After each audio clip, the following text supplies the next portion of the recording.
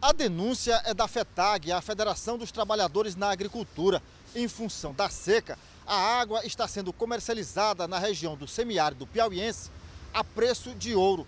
Só para se ter uma ideia, no município de Pio Nono, um tambor com 7 mil litros de água já é vendido a 350 reais. Esse problema ele é mais grave nas zonas urbanas, né? em algumas cidades que o abastecimento de água potável é precário.